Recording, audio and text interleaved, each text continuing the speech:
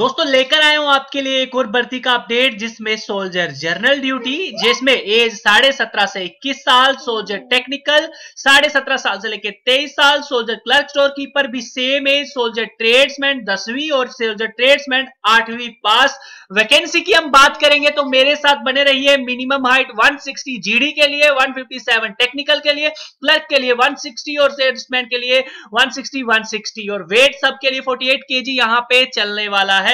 आपकी minimum chest तो 77 होनी चाहिए, फैलाने के बाद 5 सेंटीमीटर अब हम बात करते हैं इसके लिए कौन कौन अप्लाई कर पाएगा। उसके पहले आपने वीडियो के नीचे जल्दी से कमेंट कर देना है कि आपकी स्टेट कौन सी है, ताकि वो मेरी नज़र में रहे और जैसे ही उसकी भर्ती आए, मैं उसका अपडेट दे दू। फ़िलहाल मैं आप लोगों को यहाँ पे बताना चाहूँगा कि ये जो भर्ती आई है, ये होने जा रही है किन डिस्ट्रिक्ट की? होजाई विश्वनाथ नगौन सोनितपुर और मोरीगांव। आप लोग अगर अपनी भर्ती देखना चाहते हैं स्टेट की तो भैया मैं बोलना चाहूँगा विज़िट करो समझ आएगा डॉट इन के इस पेज पे, क्योंकि काफ़ी सारी स्टेट की भर्तियाँ यहाँ पे आई है। फॉर एग्जांपल जैसे छत्तीसगढ़ है तो नोटिफिकेशन है लास्ट डेट यहाँ पे बताई होती है, दिल्ली है, महाराष्ट्र है, सत्ताईस नवंबर लास्ट डेट नोटिफिकेशन है। और कोई अप्लाई करना चाहे तो एक काम करेगा, वो बिल्कुल नीचे आएगा। देखो, नीचे कितनी भर्तियाँ अपडेट की हुई है। तो यहाँ पे यहाँ पे मिलेगा अप्लाई का लिंक और यहाँ पे आपको मिलेगा नोटी वीडियो कैसे मतलब अप्लाई करते हैं, वो वीडियो आपको यहाँ पे मिल जाएगी। तो ज़रूर यहाँ पे आए और आप अपनी भर्ती देखें। फ़िलहाल जो आज की भर्ती है, वो स्टेट कौन सी है? वो स्टेट है असम इस चीज़ का ध्यान रखिएगा।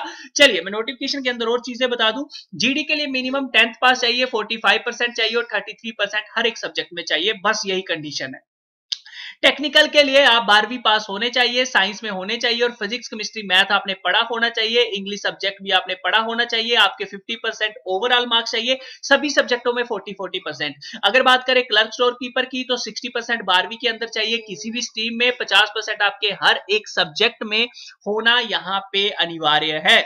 और आप लोगों ने इंग्लिश सब्जेक्ट साथ में मैथ या फिर अकाउंट या फिर बुक कीपिंग ये बारहवीं के अंदर पढ़ा होना बहुत ज़रूरी है। याद रखिए इंग्लिश तो पढ़ी ही होनी चाहिए। उसके साथ मैथ या अकाउंट या बुक कीपिंग ठीक है? तो 50 परसेंट इसमें भी होने चाहिए। ट्रेड्समैन के लिए दसवीं पास बस 33 परसेंट हर एक सब्जेक्ट में, और ट्रेड्समैन आठवीं पास भी है, जिसमें आप S Y house keeper M S keeper की पोस्ट के लिए अप्लाई करेंगे, और मिनिमम थर्टी थ्री परसेंट आपके इसके हर सब्जेक्ट में होने ज़रूरी है।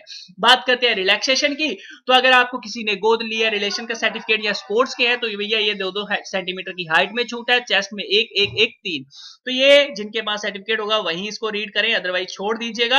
अब बात करते हैं रैली की। तो रैली में जाओगे तो 1.6 किलोमीटर की रनिंग जिसमें पाँच मिनट तीस सेकंड और पाँच मिनट इकतीस से लेके पैंतालीस सेकंड तक भी आप पूरा कर सकते हैं। तो जो 45 सेकंड के पहले करेगा, उसको मिलेंगे कितने मार्क्स मिलते हैं 60 48 मार्क्स और जो 30 सेकंड के पहले करेगा उसको मिलेंगे 60 मार्क्स याद रखिएगा, यहाँ पे आपका एक जंप भी होगा, जो आपने सिर्फ़ 9 फीट का लगाना है और जो कि क्वालिफाई करना है.